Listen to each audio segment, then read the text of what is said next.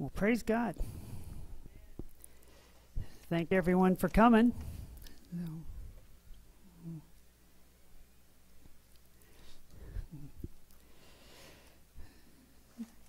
Tonight we're doing another teaching on our healing class. Um, the premise is a little bit on getting the bride of Christ ready and uh, getting rid of Jezebel to do that. So we're going to touch on that. If you've listened to anything lately, well, let me start with prayer. Well, Heavenly Father, I do just thank you for this day, Lord, for the people that you've brought, Lord God. I pray that we can speak into their lives what what is going on and what you want us to do, Lord God. We are seeking you, Lord, with all our heart. We're asking you, Lord, to take us to a place we've never been before. We want to go higher. In Jesus' name I pray. Amen. So, if you've paid any attention to what's going on out there, you've probably heard about the date September 23rd, 2017. Um, and there's a lot of speculation what that is going to be and as it pertains to the prophecy that we find in Revelation chapter 12. And that's the days that, that we're finding ourselves in. Um, if you want to put that that picture up there, I'm going to read from Revelation chapter 12 so you get an idea of, of what I'm talking about. And there appeared a great wonder in heaven, a woman clothed with the sun and the moon under her feet, and upon her head a crown of twelve stars, and she being with, tri- with child cried, travailing in birth and pain to be delivered. And there appeared another wonder in heaven, and behold, a great red dragon, having seven heads and ten horns, and seven crowns upon his heads and his tail drew a third part of the stars of heaven and did cast them to the earth. And the dragon stood before the woman, which was ready to be delivered, for devour the child as soon as she was born. And she brought forth a man child who was to rule all nations with a rod of iron, and her child was caught up to God and to his throne. And the woman fled into the wilderness, where she has a place prepared of God, that they should feed her there a thousand two hundred and threescore days. You might want to remember that. And there was war in heaven. Michael and his angels fought against the dragon, and the dragon fought against his angels, and prevailed not. Neither was their place found any more in heaven. And the great dragon was cast out, that old serpent called the devil and Satan, which deceives the whole world. He was cast out into the earth, and his angels were cast out with him. And I heard a loud voice saying in heaven, Now is come salvation and strength in the kingdom of our God and the power of his Christ, for the accuser of our brethren is cast down, which accused them before our God day and night. And they overcame him by the blood of the Lamb and by the word of their testimony, and they loved not their lives to the death. Therefore rejoice, you heavens, and you that dwell in them. Woe to the inhabitants of the earth! And of the sea, for the devils come down to you, having great wrath, because he knows that he has but a short time. And when the dragon saw that he was cast to the earth, he persecuted the woman which brought forth the man child. And the woman were given two wings of a great eagle. I've always prayed when I read that scripture that that, that is indeed symbolic of the United States. Um, some people say that we're annihilated. I said, I hope that we get it right and we're a friend of Israel and we assist. And that she might fly into the wilderness into her place where she is nourished for a time and times and half a times from the face of the serpent. So there we are again, th- those same periods of time.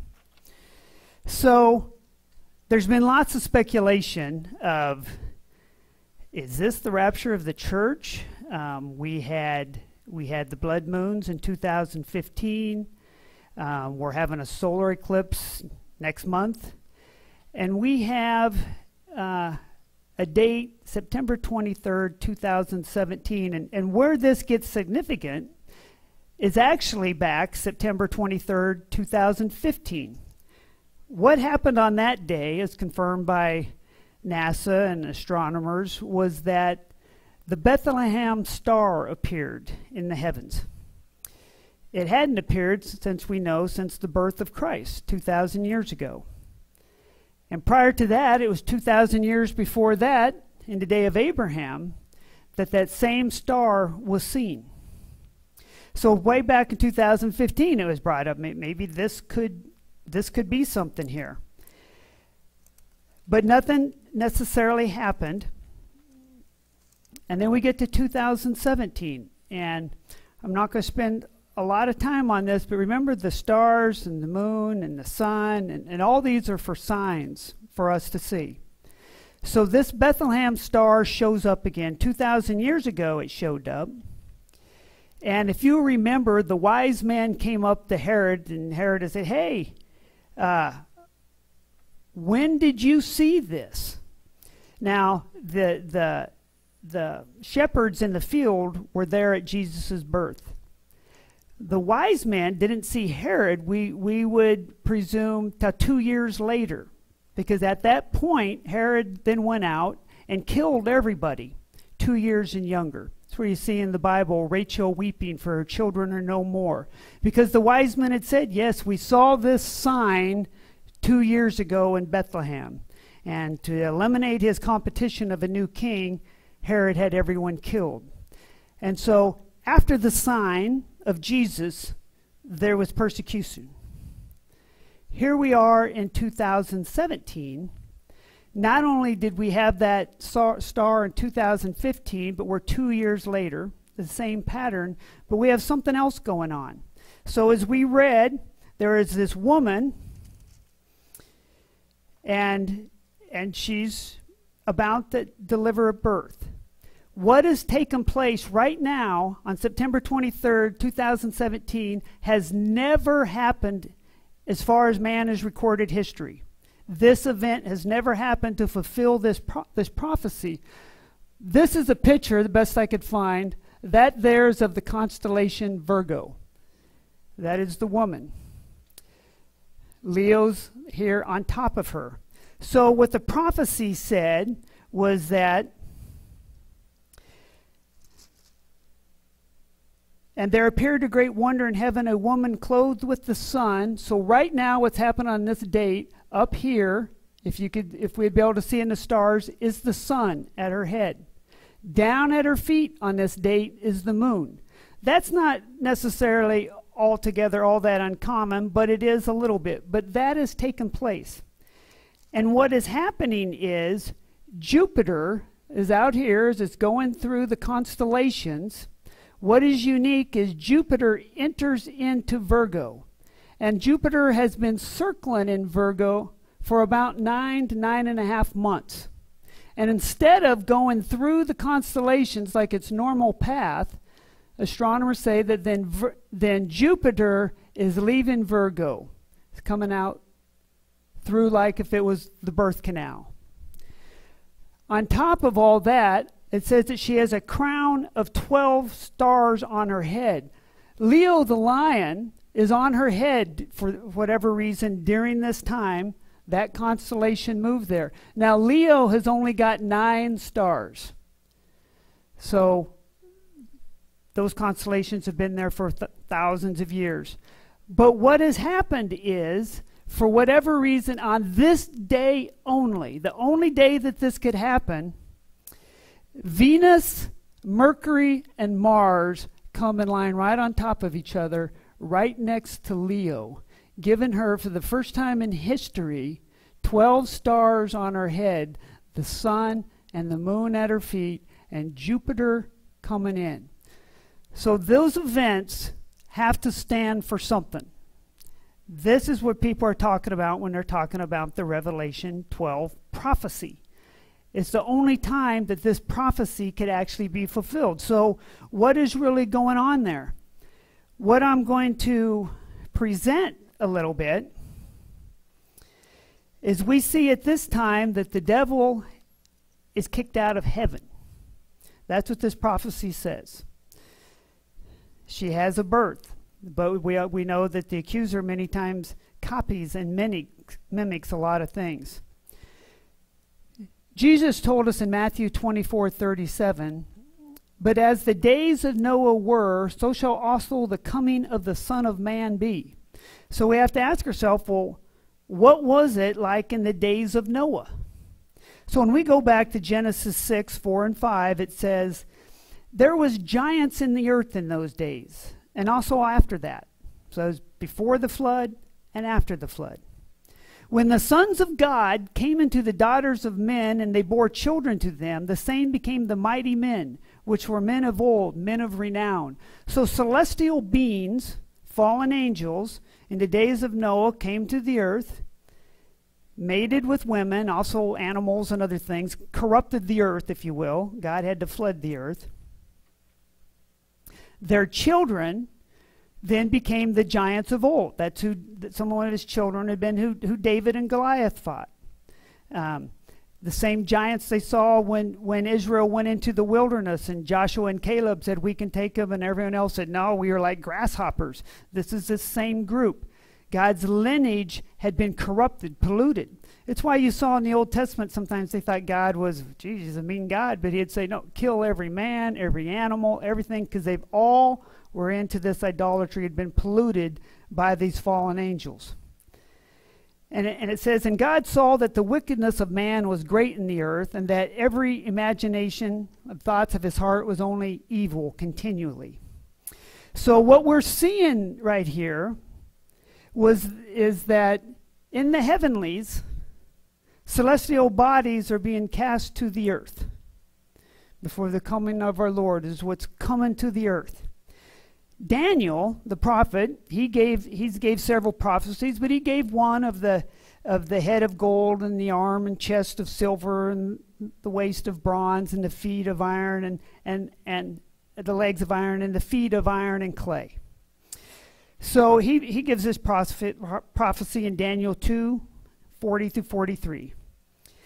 And the fourth kingdom shall be strong as iron, for as much as iron breaks in pieces and subdues all things, and as iron that breaks all these, shall it break in pieces and bruise. And whereas you saw the feet and toes, part of potter's clay and part of iron, the kingdom shall be divided.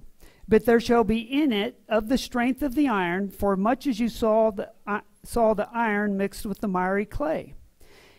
And as the toes of the feet were part of iron and part of clay, so the kingdom shall be partly strong and partly broken. And whereas you saw the iron mixed with miry clay, they, whoever they is, and I'm going to say were at this time, as it was in the times of Noah, so will it be at the coming of man, they shall mingle themselves with the seed of men. Celestial beings coming to the earth as it was in the day of Noah. These celestial beings that at this point in September are being kicked out. But they shall not cleave one to another, even as iron is not mixed with clay. So Daniel goes on with some prophecies, but to set this up, we see over that John in Revelation 17, in 17, 10, and 11, and he says, And there are seven kings, and this is in John's day, five are fallen, and one is, and the other is not yet come. And when it comes, he must continue a short space. And the beast that was and is not, even he is the eighth, and is of the seventh, and goes into perdition. So when John wrote that, you know, you had the, the, the Egyptian kingdom, followed by the Assyrian kingdom, followed by the Babylonian kingdom. Then you remember that you saw the handwriting on the wall, and the Medes and the Persians came, so that, that was four kingdoms. Then Alexander the Great came. So that was five kingdoms at the time that John wrote that that had already had fallen, and then Rome and one which is. So Rome was the kingdom at the time he wrote that. After that, after Rome, you get the Ottoman Empire with the Turks. Pretty much what, you read in the Bible, everything is Jerusalem centric. So it says the world, they're, they're talking the Middle East. Out that then ended around world, of World War One there. Then it was not, but it will come again. I will contend that this, this Turkish empire is what is coming again, where this Antichrist will be coming out of. Because if you remember, after Alexander the Great, and, and, and many pictures of Alexander the Great show him actually as one of these giants or one of these Nephilims. He has the horns on his head. Um, he is a contaminated being, if you will, that had uh, destroyed everything very quickly. Um, so we get to the point where when the Medes and the Persians and Alexander the Great was finally conquered and was going to die, he did something unusual. He didn't give the kingdom to his children. He said, Give it to the strong. And so his kingdom was divided up between his four generals. This is where we saw the king of the north, the south, and, and out of this northern kingdom, which would be present day Turkey and Iran, Sunni empires, is where the Antichrist comes out of. The king of the north will fight against the king of the south. So I'd look at it more as the battle um, I think the world will be affected, but it's the Middle East. You see today, this wouldn't surprise you, you've got the, the Shiites in the north and the Sunnis in the south still fighting today for this kingdom. Saudi Arabia would be from the kings from the south. It'd be interesting if there's any daughter from Saudi Arabia that marries someone from Turkey, their, their leadership. It's, it's an event, it says it happens in the Bible. So Daniel goes on th- that's that's just to give you where this antichrist is supposed to be coming out of. It's not George Bush. It's not Bill Clinton. It's, it doesn't fit where he's got to come from. He's going to come from a Muslim country. Every nation that Jesus fights against when he comes back is a Muslim nation. So this other stuff, uh, our Western mindset, doesn't fit the, the biblical narrative. So Daniel says, and speaking of the, the Antichrist, in Daniel 7:25, and he shall speak great words against the Most High, and shall wear out the saints of the Most High, and think to change times and laws, and they shall be given into his hand until a times, time, and dividing of time. That same period that it talked about in that Revelation 12 prophecy. In Daniel 9:27 he says, "And he shall conserve the covenant with many for one week." So the Antichrist, there has to be a time when Israel is surrounded by her enemies and war breaks out. Well, we can see right now that Iran's right up to the border with the Syrian war of the Golan Heights. Hezbollah, funded by Iran, they actually shoot missiles across right across the road into Israel, and they just they're nice enough to time them so they're around 8:30 in the morning so hopefully they can hit a school bus full of kids as they're going to school. But that's not so much a problem. The problem is that they're building apartments in occupied territory. But it says then that's just kind of sad humor but uh, that the world thinks of that.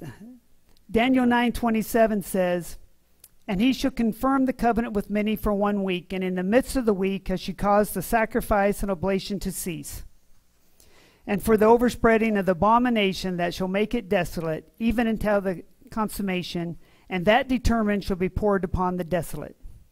Again in Daniel 12:11, he gives us a third time. He says, "And from the time of the daily sacrifice shall be taken out of the way, and the abomination that makes desolate set up, there be, shall be a thousand two hundred and ninety days. So there's that same time period again that we're seeing now in in uh, four different prophecies. That after that period, this Antichrist will be revealed, will show himself in the temple, and we will see this. So three and a half years, the devil's on the earth. Jesus said in Matthew 24 15, when you speak, he was speaking to his disciples, speaking to his church, when you therefore shall see the abomination of desolation spoken of by Daniel the prophet stand in the holy place, whoso reads, let him understand. So he's given us a warning what to look for. I'm not going to go into the direction of all on, on the timing of the rapture of the church. I'm just saying Christians are seeing this. So what happens? What does this Jezebel do, and who is this Jezebel? Um, to get started on that, I'm going to do just a real quick, a little brief uh, outline on, on Islam so we can understand what's going on. The Quran, the book that they read, basically means, Thus says Allah. Like we have an Old Testament, we also have a New Testament.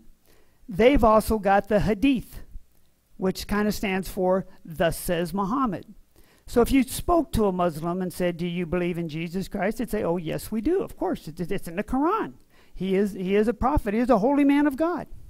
They actually believe that Jesus Christ will come back, but when he comes back, he'll be a Muslim and he will lead the Christians to be Muslim or they'll be killed. But in the Hadith, that's where you get the things that say, yeah, but, but Allah has no son. We're not praying to the same God as what the world has taken us, this one road leads. That, that's what's going to happen. In fact, the Quran has many stories that, that are parallel our Bible. The Quran says that a treaty with the Jews will be made, and, and, and the Jewish person will come from the tribe of Aaron. The Mahdi, this 12th Imam, will come when the world is in great chaos. That is this Antichrist. What our Bible calls the Antichrist and a bad dude, the Quran calls their Mahdi and who they're waiting for, their Savior. It's why when you're dealing with a nation, especially with nuclear weapons, it's not like dealing with Russia or China who respect, you know, mutual catastrophe. You know, we launch on them, they launch on us. That doesn't matter in Iran. They, they, they provoke that because their savior comes when the world's in chaos and blown up. I mean, they're already blowing themselves up with suicide bombers. So that's what they're waiting for. That's what they're prophes- prophesying. In fact, what we call to say a lie or to be a deceiver would be negative in our Bible. It is actually um, a great thing in the Quran. Allah is referred to as the great deceiver. That's why there's a story is told that when Muhammad was starting Islam, and he, he told his, he had few followers at the time, that Allah told him that they were to take a pilgrimage to Mecca to worship Allah. And as and trying to get them all to follow him. So they took off on this pilgrimage, but as they were crossing Jewish land, they wouldn't let him pass. And in fact, Muhammad was greatly humiliated. Um, they didn't, you know, obviously they didn't kill him or kill anyone, but he was made fun of, and they're like, you know, you thought you were this great, this great prophet, you said we were going to go on this, pil- this pilgrimage and we were going to Mecca. The followers probably should have figured it out right then, but it's a classic example of the end justifies the means. And Muhammad made the comment, but I did not say that we would make the pilgrimage this year, just that we would make the pilgrimage. And they signed a treaty with the Jews for 10 years. And so the way Islam thinks is when they were weak and they couldn't do what they wanted to do, they, they would make a treaty. But as time went on, about five, six years, Islam grew, and they then were the stronger tribe, and they went and conquered that tribe that they made a peace treaty with. The term used to describe this peace treaty is in the Quran is Hudna. We did Hudna. This is why when Arafat did the Oslo Accord and made a peace treaty with Israel, with, with Clinton. Uh, and when he got back in front of the Palestinian people, they're like, What are you doing? What are you doing making a peace treaty with these people? And Arafat's answer was, Hudna. I say to their face what they want to hear because we're abiding our time when we will take over Israel. It's why you'll see uh, Islam today telling us what we want to hear to our face about mosque and stuff like that. But all along, they're planning when they are stronger that they will take over and, and put in Sharia law. So, Mecca in Saudi Arabia, that's where the, the Muslims walk around that Hajj, that little black building. In the corner of the Hajj is the Kaaba stone. Sarah, you want to put that other picture up? It's that little black stone down at the down at the corner of, of it. They all go march around it and they'll go rub it. It's the same stone that was found in Acts 1935. So listen to this. And when the town clerk had appeared, the, had appeased the people, he said, You men of Ephesus, what man is there that knows not how that the city of Ephesus is a worshiper of the great goddess Diana, and the image which fell from Jupiter? Remember, we just showed earlier Jupiter going into Virgo, and that these are celestial beings now coming. So, to show the, the how demonic it is, even which they have as their emblem is, is the 666 on, on their cornerstone there. They will tell you that it's exactly 666 miles uh, from Mecca or from the building, from the Hajj to the dome on the rock. Um, it is a demonic.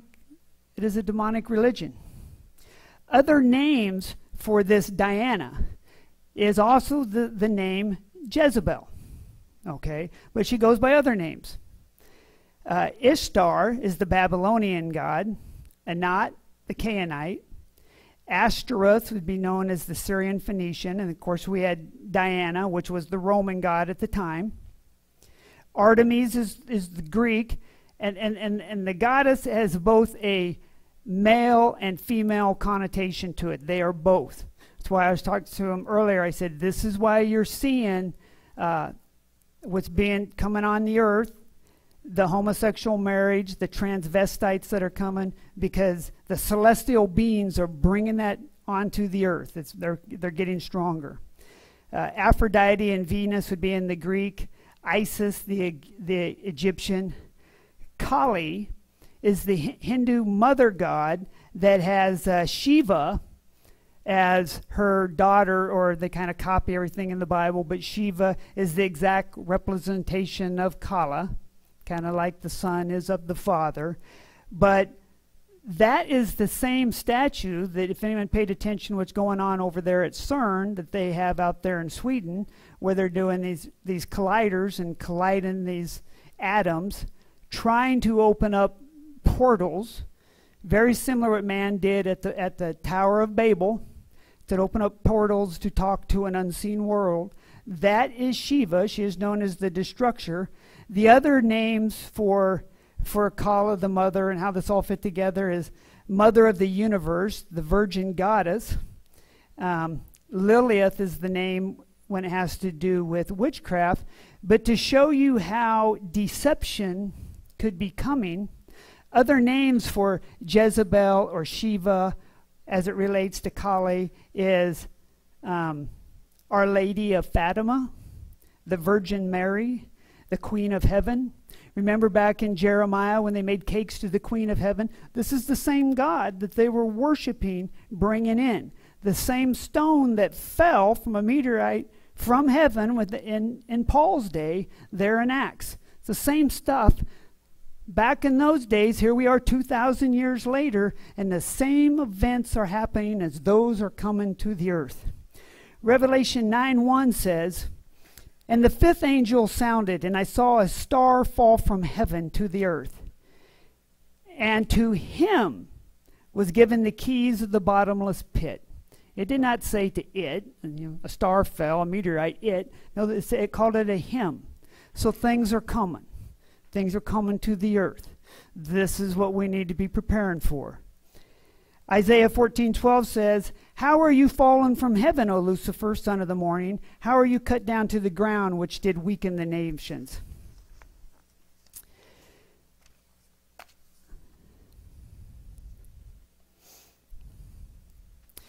So, the, what Jezebel, I'll just use Jezebel instead of all the other names, has done throughout history is to come and was to divide up or to spoil what God made good. God made man in his own image. It came to, to divide mankind, to try and make his own like God. That's what it did way back in, in the days of Noah. It's doing it again. Jesus said, says in Matthew 12 25, and Jesus knew their thoughts and said to them, Every kingdom divided against itself is brought to desolation, and every city or house divided against itself shall not stand. So when we let Jezebel into this nation, into Des Moines, into your home, Jezebel's job is to divide, to conquer, and destroy. The same pictures, your statues you see of Jezebel, be the same that you would see of Shiva. You know, she's there, usually it's female, with a necklace of skulls around her neck and holding skulls, and skulls she's standing on because she seduces her victims. Could be a, a pastor in a church or a husband in a home, or it could be a, it could be a, in a male also.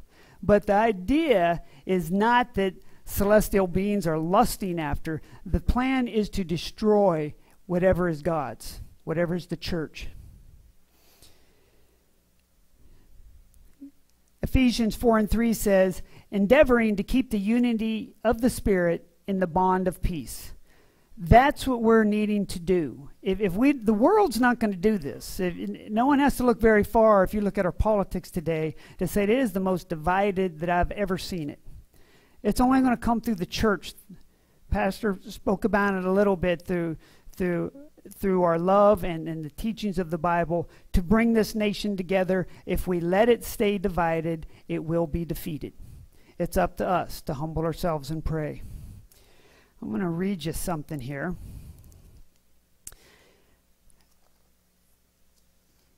You don't necessarily have to agree with this at all. Um, there's been kind of a reason why almost every night, uh, either Cheryl or I, and Cheryl was gone this week, but it comes three o'clock in the morning and bang, I'm wide awake. And I'm like, oh man, I wish it was just, you know, like six. But it's three in the morning, so you get up and you pray and you're asking God. So here's something uh, Second Thessalonians 2 1 through 11.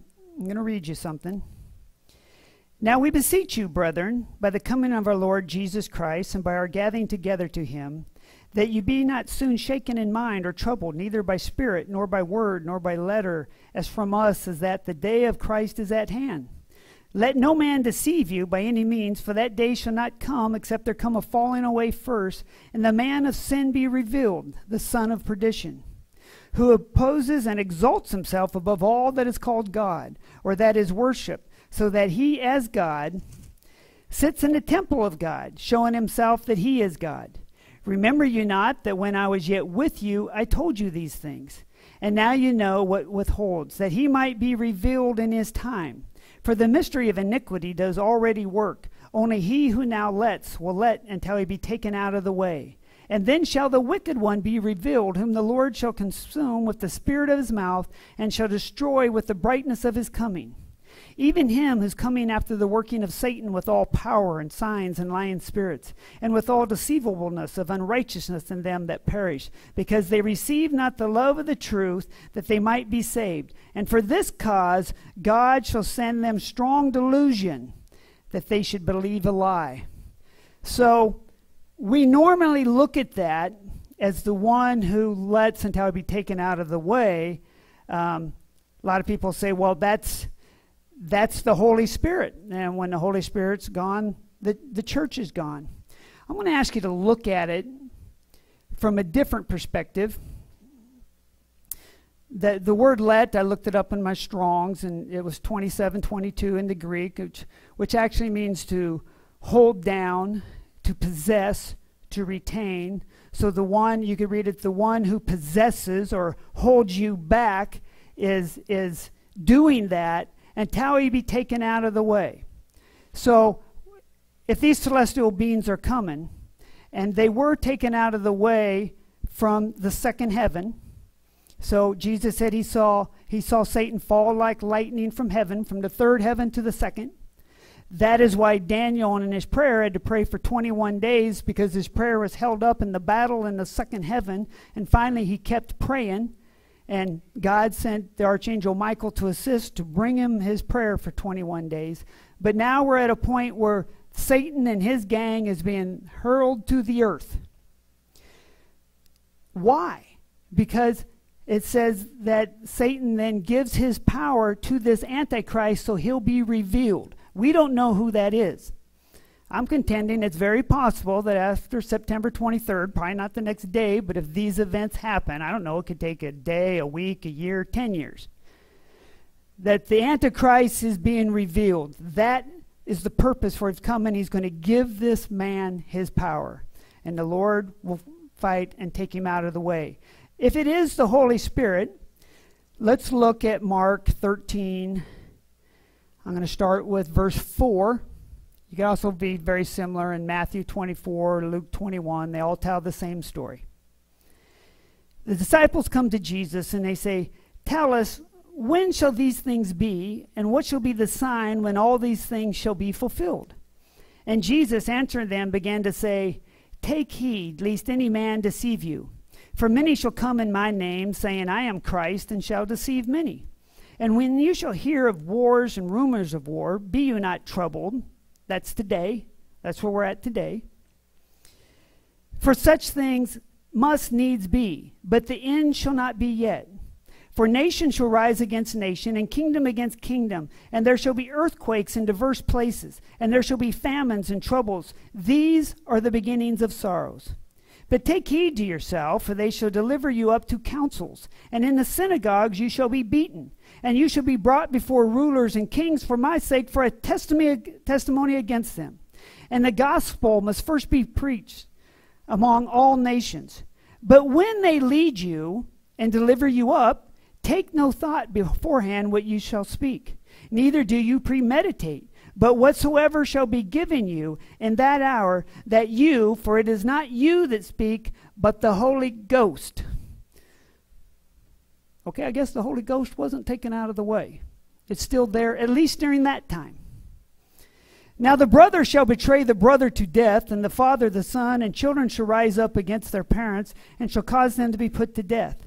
And you shall be hated of all men for my name's sake. But he that shall endure to the end, the same shall be saved. But when you shall see, so this is this, Jesus is continuing this whole thing. But when you shall see the abomination of desolation, so that's the fifth time the Bible has told us that when you see this, spoken of by Daniel the prophet, standing where it ought not, let him that reads understand. Then let him that be in Judea flee to the mountains. And let him that is in the housetop not go down to the housetop, neither enter therein to take things out of his house. So he goes through basically the same thing in Matthew and Luke and John, and what happens that two are taken and one is left. This is where we would say the rapture of the church. I'm not going to get into when that happens or what we want to call it. I'm just saying that, that there are events happening on the earth that the church sees. So we got to say, well, why is this happening? Revelation 2 and 10. So this now we're back. John sees this. This is the church in Revelation 2. Fear none of those things which you shall suffer. Behold, the devil shall cast some of you into prison, that you may be that you may be tried, and you shall have tribulation ten days. Be you faithful to death, and I'll give you a crown of life. So he's telling us to hold on. There, there, there's a message in that. It was actually a message, even which we'll touch on a little bit. Um, um, Apostle Keith talked about it today of his life, going through struggles in his life to become the man that he, he needs to be. It's the same thing of what we're going through. God says that he disciplines those he loves, and that you should consider hardship as discipline. His church goes through some things, but the church doesn't go through the wrath of God. There comes a time when God protects and he comes down, and all those, he says, I will contend with those who contend with you. I reserve my wrath for your enemies. Revelation 2 and 20 says, Notwithstanding, I have a few things against you. So now he's talking to us of what we need to do. Because you permit that woman Jezebel, which calls herself a prophetess, to teach and seduce my service, servants to commit fornication and to eat things sacrificed to idols. So the Lord's not pleased at all for us to let that carry on in the church. That's why we're here to get rid of this, to get the bride without spot or wrinkle. We can't let it in. All things were created by the Lord and for the Lord. That's what the Bible says. Celestial beings, the devil, demons, all that stuff, God's in control. He's not taken by surprise. It is doing something as his children are going through something and rising up. 1 Peter 1 and 7 says that the trial of your faith, being much more precious than of gold. Luke 18 and 8 says, When the Son of Man come, shall he find faith on the earth? That's what the Lord is looking for in us. When you're going through something, will He find faith? Will we stand? He gave us many examples of praying through. In Luke, he gave the example of uh, uh, the unrighteous judge. So a woman had, had wanted deliverance from something, she wanted justice. And, and it said the judge did not care about the woman, but at least she not wear him out, he will give her her justice telling us, keep praying. It's what we got to do today, not to grow weary in well doing. He gave another parable about a man coming to see his friend who's already in bed for the night. And he said, he kept asking him, Hey, do you got any bread? I'm on a trip. And he says, Hey, I'm, I'm in bed. My kids are in bed. Go away. And he said, He won't help the man because he's his friend, but because of his importunity, which is a word used to ask with repeated request, that he would give him all that he needs. Jesus asked three times at the night of his passion, Lord, if it be your will, take this cup from me, but not my will be done. He didn't stop. He came back later. He asked the same thing. He came back the third time. Paul had a thorn in his flesh. He asked three different times. Daniel fasted for 21 days and prayed the same thing. So it seems like what is happening is in that second heaven where our prayers are being held up, that that's where you keep praying. And god if, if you're not like the waves of the sea as it says in james you stay consistent. He will send those to assist. And in daniel's prayer it was archangel michael even to come in war to bring that prayer. What I'm going to suggest is for the church right now, where we're at, these things are coming. As this second heaven is cleared out and comes to earth, the Bible says, Daniel says, that those who know their God will do exploits. Why? Because the second heaven's cleared out. You who stay by faith and continue to pray are going to get almost instantaneous answers back. Where we're going to see healings, we're going to see miracles. God is not going to let celestial beings come and battle flesh alone. Where sin abounds, so much more grace abound. This is what we're getting prepared for. This is what the prophets, when, when you listen, say, hey, Jezebel's coming, but so is signs and wonders from the church being built up for this time. So we've been asking ourselves, why aren't things? Why aren't things? I'm telling you, it's coming. Stay strong. Stay in this.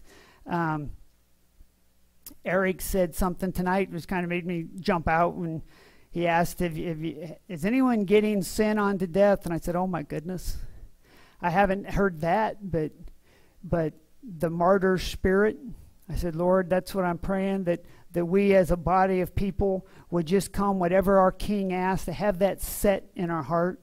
Kind of like where Jesus was when, when he was going to go back to Jerusalem, and they said, Lord, you know, yesterday they're going to stone you. And they didn't even have to ask him a question.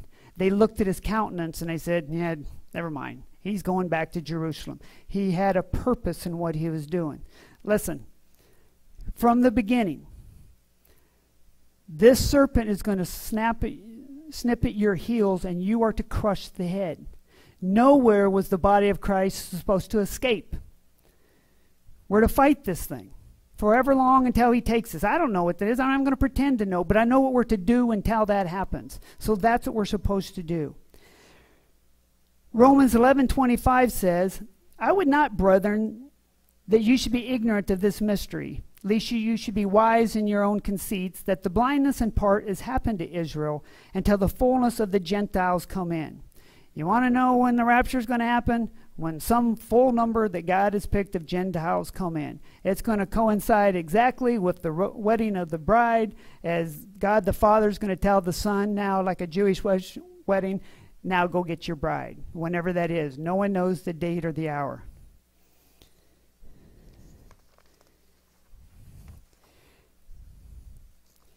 This, this martyrdom, so I say things that people, they get scared because they're thinking the tribulation period. I'm going to tell you there are people right now, if you lived in Mosul or if you lived in Syria, they're not really too concerned about the tribulation period they're living it. If you're a Christian in Bethlehem, it's all, the, the birthplace of Jesus is almost extinct from Christians anymore. They've all been killed. I remember that picture of that that nine-year-old, eight, nine-year-old girl in, in the white and blue dress laying in a pool of blood because they cut off her head because they said, "Will you renounce Jesus?" And she said, "No." And ISIS cut off her head. Do you think those people are worried about the tribulation? They're living it. But this is what Revelation 6, 9, and 11 says. And when he had opened the fifth seal, I saw under the altar the souls of them that were slain for the word of God, and for the testimony which they held. And they cried with a loud voice, saying, How long, O Lord, holy and true, do you judge and avenge our blood on them that dwell on the earth? And white robes were given to every one of them. And it was said to them that they should rest yet for a little season and tell their fellow servants also and their brethren that should be killed as they would should be fulfilled. That is the spirit of martyrdom, which Jesus is talking about, where the people need to get their hearts. I'm not saying anyone wants to be killed. I'm saying let's get our hearts to that direction. It's where we have to go. Romans 4, or Revelation 14:13 said, "And I heard a voice from heaven saying to me, Write, blessed are the dead which die in the Lord from hereafter. Yea, says the Spirit, that they may rest from their labors, and their works do follow them. So, we're to get rid of the escapism mentality.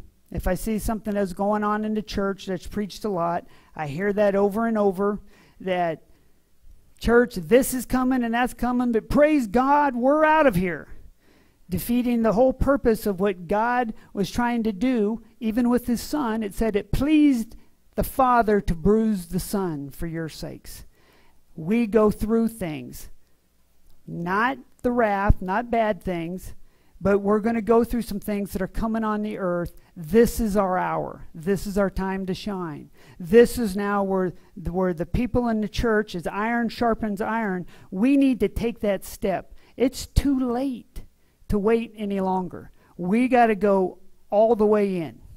All the way in.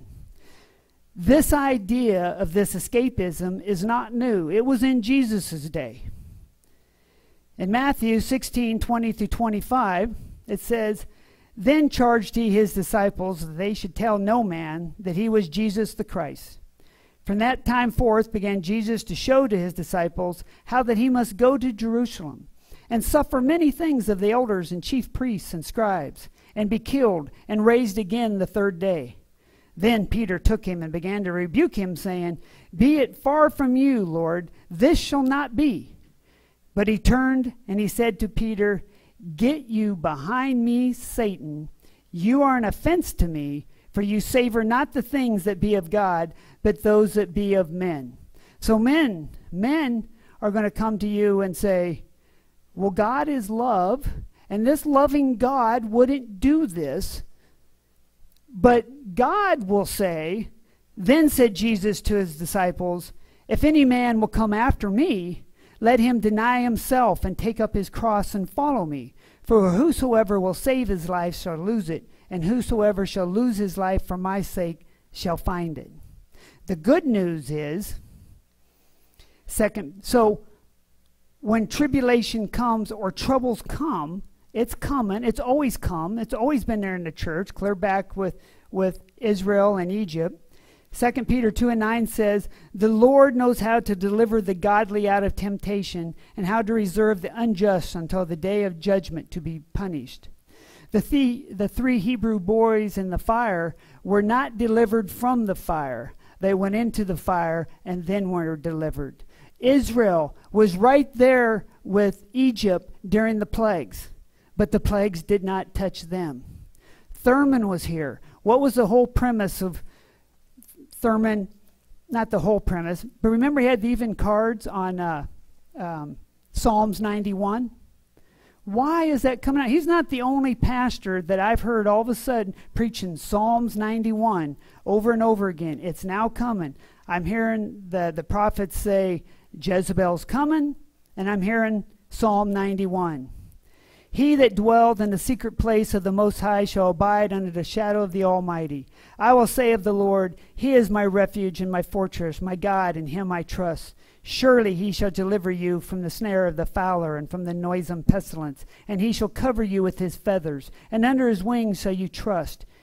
His truth shall be your shield and buckler. You shall not be afraid for the terror by night, nor by the arrow that flies by day, nor for the pestilence that walks in darkness, nor for the destruction that wastes at noonday. A thousand shall fall at your side, and ten thousand at your right hand, but it shall not come near you. Only with your eyes shall you behold and see the reward of the wicked. God will protect you in the struggle. The struggle is to develop us. So, how do we fight the dragon? Jezebel. We know she's coming. This, there's only one way. This scripture kind of hit me in the, tre- in the chest because it, it described me. 1 Corinthians 1 22 through 23. For the Jews require a sign, and the Greeks seek after wisdom. Well, Pat, you're you're you're doing healings. You want to see signs and wonders. You want to get revelation from your Bible and study that. You're no different than what they were. And Paul gave the answer. But we preach Christ crucified, to the Jews a stumbling block, and to the Greeks foolishness. The only way we are going to fight. We are now entering into a level. So when I was preaching here, on Jezebel coming, celestial beings are coming. The Bible tells us that's coming. We can't fight it with wisdom, with knowledge. You got one answer. There's only one way Jesus Christ, Jesus Christ crucified. He has the power, He has the authority. He overcome by the blood of the Lamb, He overcome by word of His testimony, and we don't value our lives so much even unto death. That is our mindset for what is coming. Jeremiah 12:5 says, "If you have run with footmen and they have wearied you, then how can you contend with horses?" Well, let me tell you something. Horses are coming. There's a white horse coming to conquer. There's a red horse coming to take peace away. There's a black horse that has has the scales weighed in the balance, and there's a pale horse bringing death and hell with it. It's coming.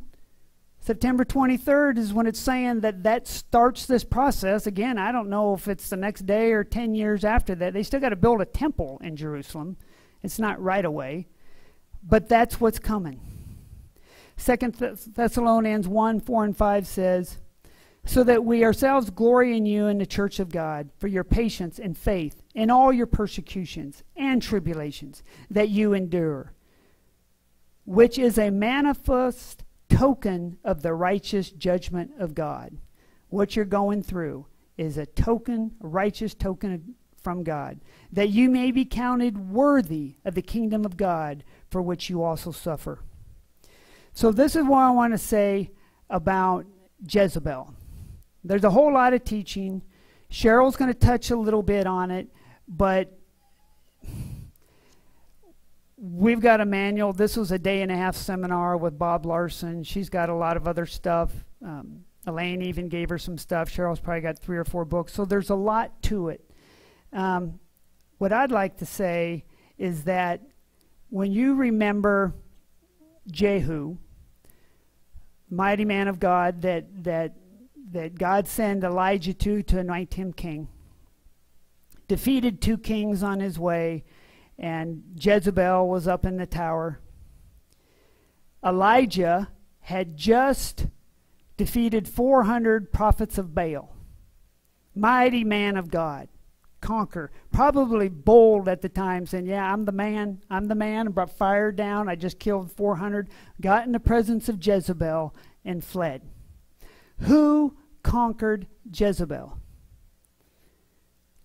Couple eunuchs up in the window. No struggle, nothing. It wasn't the great king. It wasn't the great man of God. It was probably the two most humble people on earth. If you're a eunuch and you're a slave, you're about as low as it gets. And that conquered Jezebel easily. That is a key on how we fight this.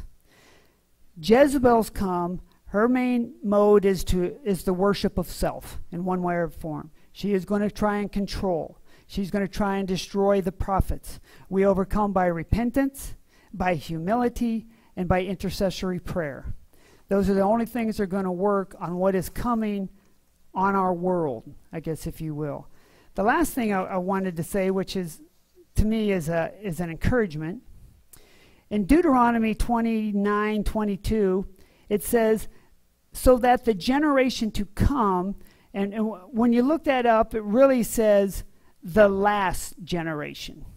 Speaking about the last generation. Basically, you could say from 1967 on, after the Six Day War, when Israel got Jerusalem back from, from Gentile control, if you will, time started counting there. The last generation. It says, The Lord set the time and place for all men to live. You, everyone in here, was chosen by God to be here right now in this place, in this city, to battle this battle that God says to fight. He is our head. He's fighting the body's to come along beside. The dragon is coming. It's going to snip at your heels. And if you do nothing and run and flee, it's going to divide the kingdom. But God says to fight and to conquer this thing. And He's going to give everyone all the tools to do it. I firmly believe that there's a change coming. The change at this point is take that step where you hesitated before. Well, should I go speak to that person? Take the step. God is going to anoint you. He said in His Word that, that those who know their God will do exploits because He's not going to let you fight celestial beings. You don't have a chance. But He's in you, He's warring. This is our time and this is our hour. This is why certain men are saying, Man, I've really getting this martyr's mantle or just, you know, I want to go all the way here with God. What what is this that I'm, I'm like, yeah, it's been getting me up almost every night saying, what does that mean? So this is where I'm going to turn it um, over to Cheryl, where she's she's got a few words, I think maybe a video or something, and is going to lead into down the road some specific plans on how to deal with Jezebel. And then when we're all done, you know, I just by faith, I'm just saying if anyone wants to, we'll just pray for you. If there's Jezebel anywhere, we're to get it out of the church. If it's in me, there's a lot of things that when I read this, Eric is more than anyone has been doing self deliverance. That's why I had to say to myself, Pat, you need to be humble. Oh, Pat, you're seeking after knowledge. You're seeking after signs. You know, repent of that. It's Jesus Christ and Jesus Christ crucified. Follow your King wherever he takes you. So.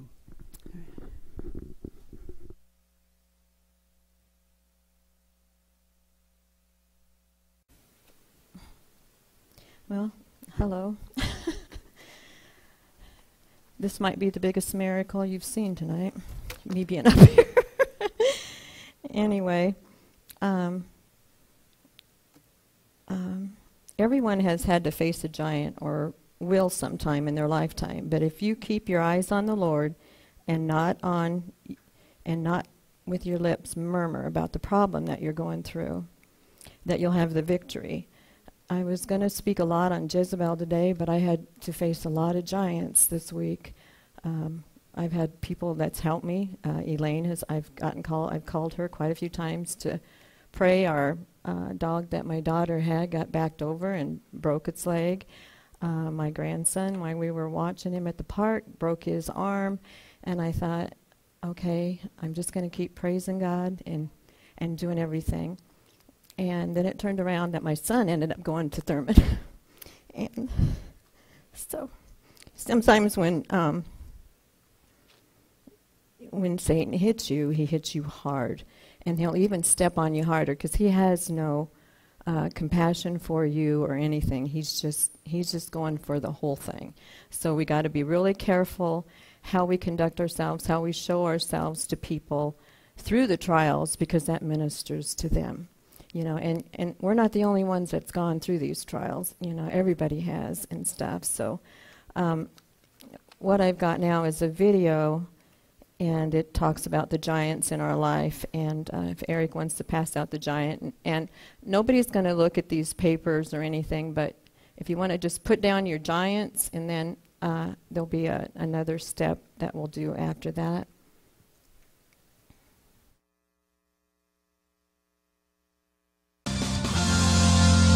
Today I'm with John Ramirez.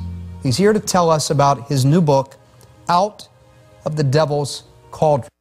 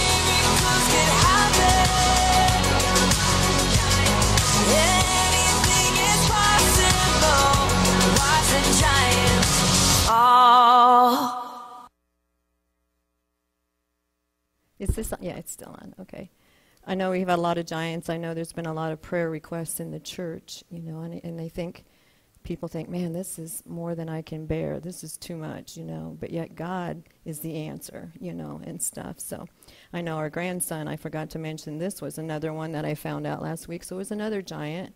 But, you know, I don't look at him anymore. I, I, want, I don't want to talk the problem. I want to talk the answer and he's got a wheat allergy, a peanut allergy, an egg allergy, a gluten allergy, and a milk allergy. And so, how do you serve those kids? You know, he comes to my house for breakfast, and it's like, can you have soup? Can't have milk. You know. So, and anyway, I was so pleased that when my son did talk to me, he said that we went to Thurman, and I said, Well, did just you and Darcy go? And he goes, No, I took my three boys. And so, there we go. Anyway, so I had sent these papers out. Sometimes it's easier when you write the problems down and then you go back and you see when God answers and stuff.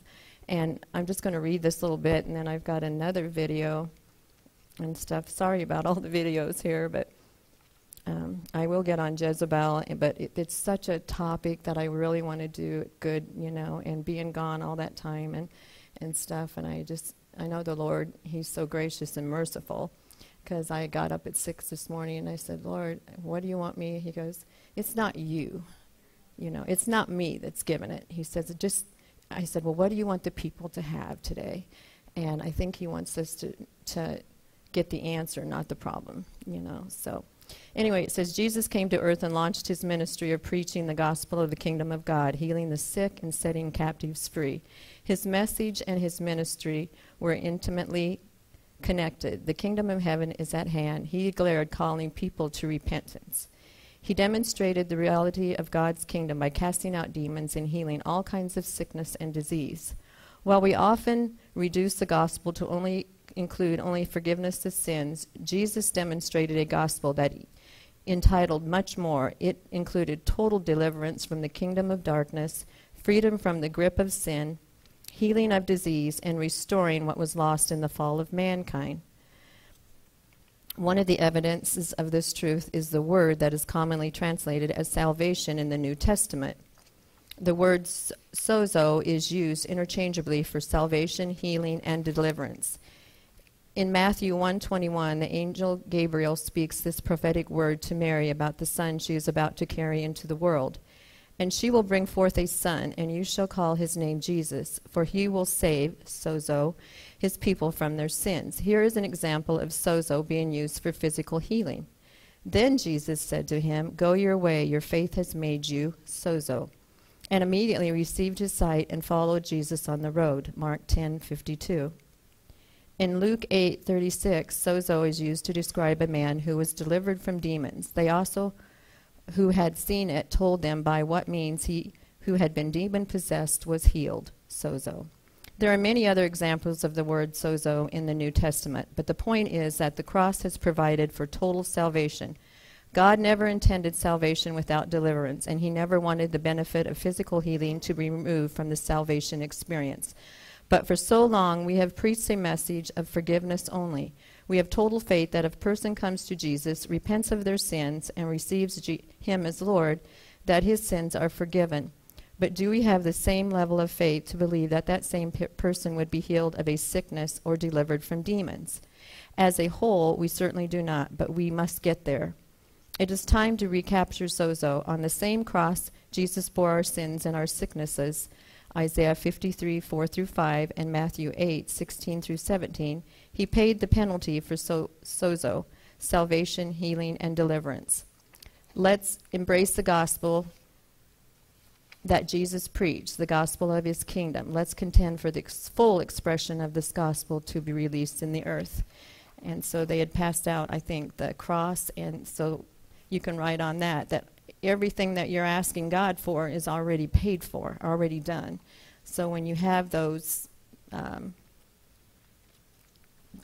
you know, Goliath, those little things on the side, and you can say, hey, Jesus already done it. Anyway, um, I was going to read the final conflict, and it kind of is long, but it does say a lot about the end times and a little bit about spirits and stuff, and then um, but I do have a video that's 28 minutes long. So, do you want to just go into that video and then you do? Okay. Yep. Today I'm with John Ramirez. He's here to tell us about his new book, Out of the Devil's Cauldron. Now, I got to tell you, much of what I have read in this book and much of what I've heard from John is absolutely hard to believe. It's the kind of thing you see in movies, it's the kind of thing you read about in fantasy and lore. I will tell you that what I have described and what you'll hear about today is not fantasy, it's real.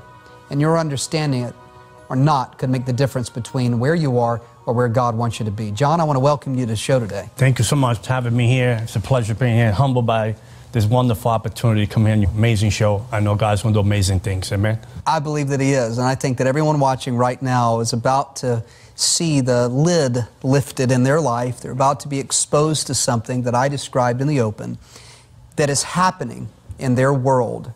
Maybe it's in their finances, maybe it's in their health, maybe it's in their relationships. There is a war for our future. There is a battleground that we are stepping onto every single day. And while we are trying to get ahead in life, there is a real force, a real enemy called the devil Yes. that is there to stop us, there to keep us from getting ahead. And you, John, today, as you sit in front of me, you're not the enemy. No. Today, no. you're a friend. Today I'm a friend. But you were, reading your biography, you were a third ranked high Devil priest worshiper. in the demonic army. Yes, I was. Explain. Tell us, tell us a little bit so the viewer can get an understanding of your background, what you came out of. I came from a line of warlocks and witches from my father's side of the family. And I was initiated at the age of nine to be trained by witches and warlocks, going to demonic church from 7 in the evening to 5 in the morning. Wow. So when I go to Christian church now, there's two hours. I go like, that's it? Two hours? so, so I was recruited into the realm of, of witchcraft, into spiritualism, to learn to be the third high ranked devil worshiper for 25 years. Because a lot of people watching hear this and don't really understand the magnitude of how real the spiritual realm is. Absolutely. I mean, the devil comes to kill, steal, and destroy. My job is to paralyze you in the spirit realm because everything starts in the spirit realm. If I can paralyze you in the spirit realm, then whatever has to happen in the natural won't happen. So I will operate in the spirit realm. The spirit realm is more real than the realm that we are in now because everything starts in the spirit realm. It's more real than the oxygen you breathe. What's happening in the spirit realm. There's a war taking place. I have to keep you away from the plan of God no matter what, at any cost. You keep saying you. So when you say that to me, I'm understanding you to mean that when you were in Satan's army, I'm going to just say it like it mm-hmm. is. No, absolutely. you would actually take on the role of a soldier for the devil Yes. To do what in the spirit realm? In other words, to do witchcraft, to do tarot card readings, to do uh, spells, to paralyze that, their, their neighborhood so the Christ, the cross won't reach that neighborhood. So the people in that neighborhood will know that it was a spirit of poverty, a spirit of prostitution, drugs. I keep it, I feed that spirit in the neighborhood to control that neighborhood so the cross of Jesus Christ will not come into that neighborhood. If you're a believer, to make you believe that the Christ you serve wasn't real, he was a fantasy. The cross is a fantasy. The cross is a figure of your imagination. I was very good at that. I had like a PhD doing that. Wow. And then after that, I discredit the cross because I have to discredit the cross because if I can discredit the cross, you have nowhere to run to. Sure. So you was vulnerable. You're in the middle of nowhere. So now I can come and attack. It's like a lion. He chased. He chased a hurdle. He goes after the weakest prey, and then he attacks and he focuses on that weakest place, So he brings us down. So I, I, I have to separate you from the cross. So I'm able to separate you from the cross and make it a figure of imagination. I knew that there was gateways and portals that you were open because you were struggling. So I would hold on to that and then bring you down. Well, I would sit in the church I would go to church as a demon man and sit in the church and break the unity of the church or break the unity of the spirit going on so people won't get saved. Wow. What was your goal? What was the game? What was the end, end game? Move up the ranks as a devil worshiper. Move up the ranks, make my daddy proud. Did you fulfill my assignment? did you actually see things you couldn't explain take place? I would sit with the devil like I'm sitting you with to today. I would talk to the devil all night long. He would manifest in human form. He would come into my house. The, the presence would change. The atmosphere would change. The, the room would change. Your presence was there. I sold my, my soul to the devil. I got the marks in my body here. I got the marks here. I got the marks here. I got the pentagram carved into my flesh. So I would sit with the devil all night long and speak to the devil because the devil wanted fellowship. Now, John, you can appreciate that's hard to believe. I'm not questioning you. I'm saying that people watching right now are saying, wait a minute, I see that in the movies, but this doesn't happen in real life. Right. H- how do we respond to that? I mean, you really saw the devil. Yeah, absolutely. Sat with a hum, sat with demons, principality. There's, there's, there's two worlds. There's, there's, there's the kingdom of, darkness and the kingdom of heaven. There's people that seen angels.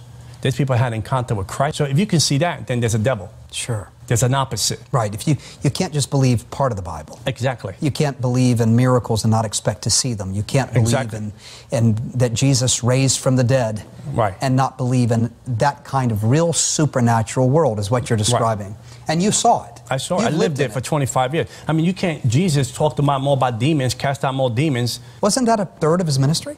Exactly. Why do we not see more of that today? Because the church is preaching people happy. They're not preaching people free. Say that again. The church is preaching people happy, but they're not preaching people free. People, Christians are coming in in bondage and, and, and shackles and strongholds and, and, and generational curses in the, in the pastors. And no disrespect to anyone's ministry because. I'm a Christian. I'm, I'm a believer. I, I, I'm, on- I'm, I'm on the side, I'm on the right side. But I can't preach you free, but I'm preaching you happy. Right. You know, it's like a sugar rush. I'm giving you a sugar rush, but I'm not really, you're not being healed. You're not being delivered. You're not being set free. Right. Well, there's a place for that. I mean, I, I would agree there's a place for that kind of ministry. But equally, there's a place for someone to be able to speak into a circumstance with real experience, who has experienced, lived, been deep in the demonic world, and can say to someone that is just trying to live happy, it's not a matter of state of mind. It's not a matter of just feeling happy. You've got some gateways in your life that Amen. you've got to shut. Mm-hmm. We've got to do some spiritual surgery, if you will, Exactly. to get them out of the ditch that they're in. That's what you're describing. Right. And that's your ministry. And that's my ministry. That's my ministry, ministry. is to come to set the captives free. People have forgot to, to know that there's a devil to fight, there's demons to cast out, there's, there's, there's a world of darkness that we're in a battle for souls. Sure. Who's going to win souls? Jesus is going to win more souls or the devil is? It's really what it's all about. Exactly. You know, it is a battle for souls. Souls. Spiritual warfare is needed. I mean, the, the Bible says it's clear. I mean, whenever you read the Bible, it comes so much to life. It said the kingdom of, of the light. I used, to, I used to project.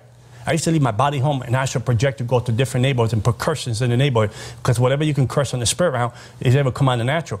In the only neighborhood that I was not able to curse was the Christian that were praying for the neighborhoods. They had a circle of unity praying for the neighborhoods and they used to chase me out to prayer. Wow. With one accord, one unity, praying in the spirit, casting out demon, healing the sick. People need to see the power of God against the power of darkness. And I would submit that most people watching have never really experienced the power of God. No. They've never seen what you're describing. I mean, I came from a kingdom of darkness. I had a hundred thousand dollar witchcraft stuff in my house. I have human bones in my house. If I would tell you I was going to kill you in 30 days of witchcraft, I was going to kill you in 30 days of witchcraft. So today, Jesus had erased everything and took my mess and made it a testimony. Wow. And now I'm, I'm, I'm educating the body of Christ that there's a devil out there that we need to fight. I'm educating the church, the spiritual warfare. We need to stay free. You know, not only, yes, we're freed by the cross, we accepted Jesus. Accepting Jesus gets you into the game, by the way. Mm-hmm. It doesn't, it, it gets you into the game. Now you have to walk out your Christianity. Mm-hmm. You don't get saved, in other words, and it's all happy from there. Right, it's not all happy. You get saved, and then the real battle starts. There's devil that's trying to stop your purpose and your destiny. There's devil that's trying to give you, give you, give it an abortion. An abortion by how? By you have a purpose and a destiny that's in you that God already put in you. He's trying to abort that baby. He's trying to abort that purpose and destiny so you won't reach the cross. You won't reach God's very best. John, what will I find in this book? Out of the Devil's Cauldron. I obviously will find your story, which is a very revealing look at a very real world of darkness. Not what we read about, not what we see on TV, you know, in fantasy books, not what we see on TV, not what we watch in movies. A real account of a soldier who was on assignment by the devil mm-hmm.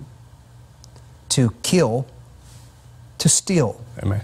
and to destroy a believer's future. Yes. That's what I'm going to find here. Amen. We don't think that there's actually something going on in our everyday life that mm-hmm. in a neighborhood where there's high crime, mm-hmm. prostitution, killing, um, that that's not just the work of people that make bad choices. There's an actual spiritual influence, a demonic force at play in that city. Mm-hmm. Maybe it's on somebody's job. Right. Maybe it's in a home. Mm-hmm. I mean, the spirit realm mm-hmm. is alive, and it's not just bad decisions that people make. It's not just choices that we make. Right. You're saying that sometimes what someone watching right now might be facing might in fact be a demonic attack on their life. That's one thing boggles my mind. Right. You, everybody's angry with God. Well, everybody wants to blame God when Everybody wants to blame. God for everything. Sure. But no one's blaming the devil these days. The church, everybody's blaming God. I didn't get my boyfriend. I didn't get a girlfriend. I didn't get married. I didn't get a car. I didn't get the promotion. Everybody's blaming God. Right. No one's blaming the devil. Do you believe that people watching right now that are facing the challenges of life, and not just everyday challenges, but grips, Grips. their bank accounts empty, they are fighting every day with their spouse, they just went to the doctor and found out they had a diagnosis of some disease, maybe they have inflammation that won't go away, maybe they're angry all the time, they're frustrated all the time, they're depressed, they see no hope, all they see is negativity. Do you believe that the devil could be work right now in their life? Oh, absolutely. You know, let, us put it that if it was something natural, you can fix it. Hmm. If it's something natural, it's easy to fix. You can put it together. It might take you some time, but you can get a remedy for it and get it fixed. Whether it's a cold, sickness, whatever situation in your life, situation at work, situation in your marriage, you can sit down with your wife, talk it out. You can fix it. But if it's something that you can't fix, that is over your head, but you don't, you try every situation possible to fix it, and you can't fix it. Then there's something more at play. There's more to it. It's called supernatural. The devil studies you. The devil is more real. The kingdom of darkness is more real than the oxygen we breathe. He studies you. He have an assignment. He, the Bible said the devil goes as, as, roaring, as a roaring lion to see who he can devour. He, in the book of Job, the, the God asked him, where do you come from? He said, I roam the earth back and forth, looking for an opportunity hmm. to see who I can bring down. So the opportunity is you can give your opportunity to God or you can give it to the devil. Wow. Choose who you give it today. You, give your, you can give your life to God or you can give it to the devil. So whatever circumstance you give to, if it's the circumstance of darkness, it's like people. Have you ever seen uh, uh, families? Uh, this guy's a baseball player. Son become a baseball player. Generational blessings, but this generation of curses too. Then you know, I, I, my father was an alcoholic. Now I'm an alcoholic. Right. So, so devil knows where to hold on to. He knows where is the weak link. He knows what is the open door so, in your life. So if someone is struggling with addiction, if they can't seem to get break free of it, you're saying that that could be demonic influence. Oh, no, absolutely. 99.9. But if it, wasn't, he could get free in the natural. If, if I'm struggling with something natural and, and I'm, I'm struggling with something natural, I can get free because it's natural. It's, I, I, can, I can overcome it. What do you say to people where they ask the question? Isn't it just a state of mind? Maybe I'm just chemically addicted. You know, maybe I can't break free just because it's it's just I'm addicted. I pray for this young man, right? He was 26 years bound in schizophrenia. 26 years, chemical imbalance. Hmm. He's free today. Manifested. I mean, from his medication, he had nine medications of different kind. And today, praying with him and a wonderful brother in Vegas, Shannon. Him and I prayed for this brother consistently. We prayed for him about 15, 15 to 17 times. We did deliverance. This brother today is, the, doctors are dumbfounded. They cannot understand how this man is sound in his mind today. Other areas I explained, you know, the finances and relationships and these other things. Could there actually be a stronghold in people's lives watching right now that they're not aware of? Exactly, because sometimes people are not aware. Sometimes out of anger, out of frustration, people speak things into the airwaves. Explain that to me. You know- you talked about gateways in your book. You talked about in your book how you can open gateways and give the devil access into your life to wreak havoc in your life. Right. Explain that, if you would, for me and the people watching. Say if I was married, right, and I, my, me and my wife had an argument, and I, I turned around, I can't, I, you know, I hate this, I hate that, I can't believe this, you know, I hate those kids, I, I, I hate you. Why you make this bad decision? You no good for nothing. Uh, I can't wait to get divorced from you. Hmm. The devil, bang, jumps on that opportunity. He start increasing that temper. He start increasing that circumstance in your house. He start to the point that you lose life in your house. You lose life in your kids. You lose life in your marriage. Now you start getting attracted to other things hmm. because you have opened the door because what you speak is what you become. And so our words really are power. Power, very powerful And the devil understands this too.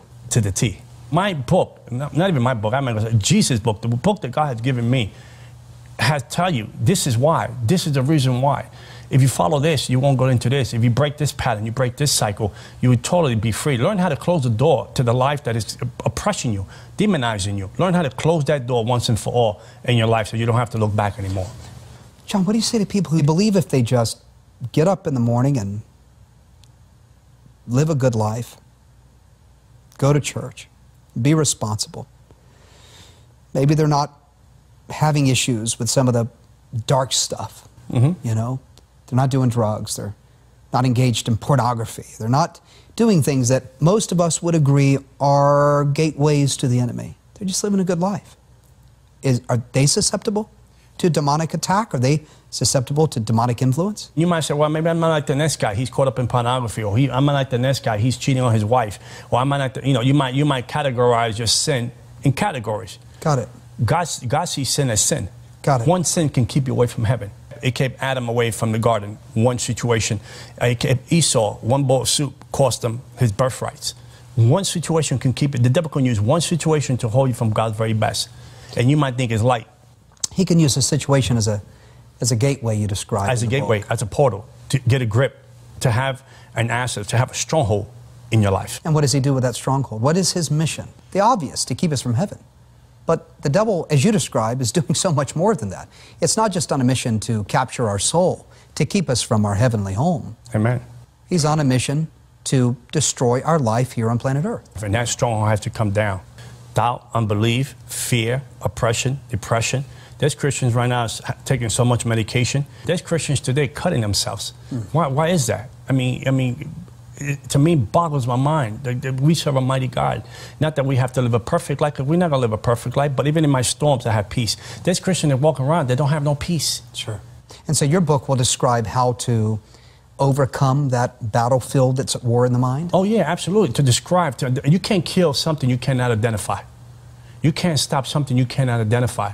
You know, to prayer, to fasting, to, to surrender to God. If I'm struggling with something, if I don't, if I don't can identify it, if I can't identify it, then I know that I'm, I'm, you know, there's no way that I can bring it down. There's no way that I can close that door. There's no way that I can bring the stronghold, break the stronghold over that, over that situation over my life. So my book identified the patterns and cycles of the devil, because the devil got nothing new. Gotcha. So your book identifies the issue, Exactly. which at its core, as you describe, out of the devil's cauldron is an enemy at work that we cannot see in the natural, Natural. but is very much there in the supernatural realm. Very much active. He is on assignment to keep you broken down, beat down, broke, depressed, mm-hmm. living in fear, living in pain, diseased, and that's not God's plan for you. Absolutely not. That's never God's plan for you. There's a kingdom of darkness, but there is a kingdom of light that is here for you today that can set you free. And once the Son sets you free, you're free indeed. Put your faith in the right place. Put your hope in the right place. Submit yourself to God. You know, give yourself to the Lord. Let God set you free. Because the bottom line is that there's an enemy out there to come steal, steal, and destroy. So I'm te- I, I want people to understand that the, book is not about me. It's never about me. Hmm. The book is about, you know, the, my pastor Carter says to me, for the souls of men and the glory of God. That's what I'm here for. That's, good. what God saved me for. It's good. To open up the eyes of the believer, to open up the eyes of the unbeliever. If I have to suffer for 25 years so you can get your freedom, so be it. But what are you wanting people to get from this book? What are you wanting them to understand that they can, they can apply to their life? You know, one of the things I say is the book is never mine. The, belong, the book belongs to God. I want people to know that there's a spiritual realm, that you don't have to be in the condition and the state that you're in. This book has impacted people's lives. This book has touched people's lives, transformed people by opening people's eyes. People gotten saved to this book. People have gotten delivered from witchcraft to this book. So, so it's supernatural. It's not me. It's not about a, a- a man. It's about the man, Jesus Christ, that can set you free, that can put you in a life, like you said, a life of purpose. Even when you go into trials, you still got peace. Shalom, nothing missing, nothing broken. Every fragmented pieces together. Only God can put the pieces together. So we are introducing someone saying this is just a vehicle that God can use. They bring your life to a place of not only abundance, but a life of peace. Shalom, nothing missing, nothing broken. You don't need to be uh, in, in, in, in a place of entrapment when you can be in a place of freedom. Well, John, this is over 230 pages of a revealing look at your journey of how you lived and operated as a soldier in the devil's army, Yes. but also a roadmap of how we can, as believers, understand the power of the enemy, learn how to fight the enemy, Yes.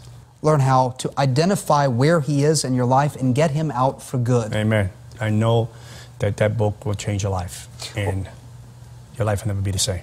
I believe everybody watching uh, needs to get it into their hands because Okay. you're going to discover where the devil is in your life and how to get him out of your life. Are you ready for that? Uh, you may be facing all kinds of situations, all kinds of struggles, and you may have prayed, done everything you know to do, and still you're gripped. Still, you've got what feels like chains of bondage in your life. Well, that might not be because you're doing anything necessarily wrong. We're human, right? You might not be involved in the extremes, but there could be a stronghold. There could be something in your life that has nothing to do with your will, but everything to do with a supernatural, demonic force that is having his way. And I think that it's worth exploring. I think that the questions that you pose in the book help us identify what gateways there might be. The questions that you pose in the book, the diagnosis, if you will, that you give in this book might help you figure out what is really wrong. And then it walks through the steps that you can take to reach breakthrough. We've got a very special offer today. My announcer is going to tell you right now. It's a special bundle, a package that you will only find here on this show. Amen. And you will only find for the price Hallelujah. here on the show or on our Amen. website. So I invite you. I'll be right back in a moment. We're going to pray with you here and uh, send you on your way. God bless you. I'll be right back. The devil is alive, and he's busier than ever. The day of the Lord approaches, the lion on the prowl is seeking to devour your destiny and waging war for your soul. Satan and his legion are on high alert, wielding power over governments, the economy, to blind you from the truth of the gospel, to confuse your children, afflict your body, wreak havoc in finances, your relationships, and more. If you feel held back, opportunity slipping through your grasp, if depression, addiction, negativity, hopelessness, and conflict surrounds you, then know that Satan has you dead in his sights to destroy your life. In his new book, Out of the Devil's Cauldron A Journey from Darkness to Light, John Ramirez reveals the exact steps to take to find the devil and expel him for good. This book is not an ordinary book. All of hell wants to keep this resource from you an inside look into the realm and a secret strategy to take your children, your spouse, your finances, your health, and more, as revealed from the one time third ranked high priest in Satan's army. As you read through the pages of this book, discover an underworld at work against you. But watch this the systematic steps to expel the devil from your life and how to build barriers against his attacks. Learn how to rebuild and restore what the enemy has stolen, how to recognize his schemes against you, break the chains of the demonic force against your children. Take control of your destiny by the blood of Jesus that will purify your mind, bring peace to your life, and break the endless cycle of setbacks, pain, and destruction. This amazing book will bring you into the light, covering grace, love, and protection of the Lord for the rest of your days. But that's not all. As part of your order today, you'll receive the complete one hour DVD where Damon walks with John through the pages of the book. Well, You saw 30 minutes today. I spent an hour with John Ramirez where we lifted the lid on what the devil's trying to do in your life. Hear the behind the scenes journey of how John escaped hell, and through which the stronghold and grip of the enemy's power in your life will be shattered right now today. Call now to receive this powerful collection, the book Out of the Devil's Cauldron. And if you call right now, the full length uncut behind the scenes DVD. This entire collection is yours today for your generous love gift of only $30. Don't delay. There are only a certain number in stock of this powerful collection, so call now. And remember, your gift towards one on one today helps bring breakthrough in your life and helps to allow Damon to continue to bring these powerful guests into your home and life for years to come. John, let's pray for the people that are watching. Let's pray for the stronghold that's in their life. Amen. Let us be in agreement with you that the devil has no room anymore. John, lead us in the prayer. Let's pray. Father, in the name of Jesus, we come together in agreement, Father God. Damon and I, Father God, we come in agreement. We're attacking the devil. We put him on notice, Father God, against the audience today, Father God, that are listening on TV and the sound of our voice. We cast out every demonic lie, every every entrapment of the devil against their life, Father God. We break patterns and cycles, Father God. We break generational curses. We break sickness. We curse it at the root. We curse down every demonic lie, deceptions, my God. We every demonic open door, Father God. We close it with the blood of Jesus Christ. Father, we pray oppression, depression, suicide, cutting themselves, Father God. We break those things right now in the name of Jesus Christ. Father, we plead the blood of Jesus against the enemy. We rebuke the devil to devour, my God, out of the finances of the people, my God, of their homes, their marriages, my God, their children, Father God, in the name of Jesus Christ. My God, let people be healed today. Let people be free in their minds, Father God. Let every tormenting spirit and scorning of the mind be broken in the name of Jesus Christ. Amen. Amen. John, thank you so much for being Thank on you the so show. much for having me. It's a pleasure.